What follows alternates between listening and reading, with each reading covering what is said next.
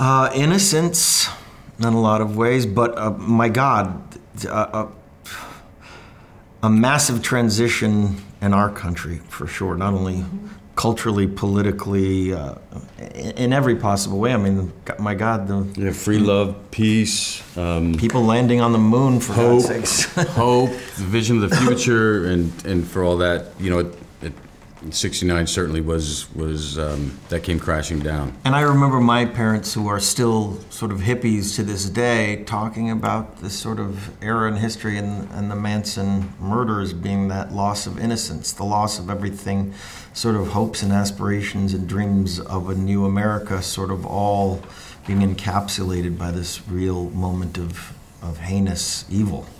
And so that's why it's fascinating, and I think that what Tarantino does in this movie is he it's his homage to Hollywood in a lot of ways, and he puts you in the in you're voyeuristically looking through this world through the eyes of two working class guys, one being a sort of down and out actor that has uh, whose uh, expiration date has sort of happened, and his as a result his his uh, his stunt his his his, his uh, stunt man who's you know struggling as well to live, and we're watching this whole world and uh, unfold and change right before our very eyes.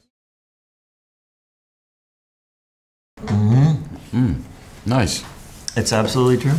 I, I think that you know we were given so much wealth and backstory of our of our characters, and that's why we, we so easily sort of fit into the roles the first day we were there because not only do we have all these reference points, but we, he gave us a chronological history of our lives together, what Rick could have been, and as a result, what Cliff could have been, and what haunts the insecurity that haunts my character. This this idea that there's always something more and he's never going to achieve it. Will he achieve it? And this constant insecurity and regret that he has.